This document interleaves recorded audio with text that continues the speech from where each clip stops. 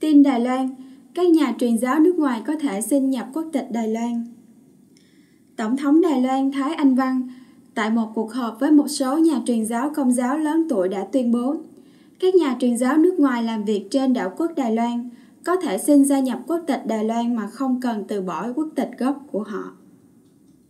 Tổng thống nói việc này có thể thực hiện được vì chính phủ đã sửa đổi luật về quyền công dân, ủng hộ những người nước ngoài đã đóng góp cho sự phát triển của đất nước.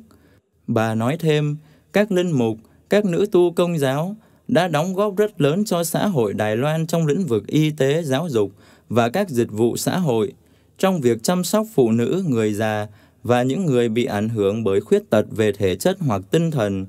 Nhiều người truyền giáo nước ngoài đã đến đây từ khi đảo quốc còn trong tình trạng phát triển phôi thai. Giờ đây đã đến lúc Đài Loan phải trả nợ các vị này vì họ đã phục vụ Đài Loan trong nhiều thập kỷ qua. Tại Đài Loan, chính quyền và dân chúng có cái nhìn rất tích cực và tri ân về sứ mệnh của các nhà truyền giáo công giáo, không giống như ở Trung Hoa lục địa, coi các nhà truyền giáo là công cụ của thực dân, đế quốc.